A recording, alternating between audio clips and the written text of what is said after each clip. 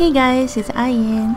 This is the character creation for female Firrans, one of the races of the Haranya Alliance.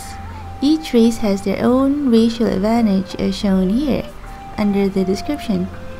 Character creation in ArcheAge allows for many detailed customizations as I'm about to show you. Enjoy watching!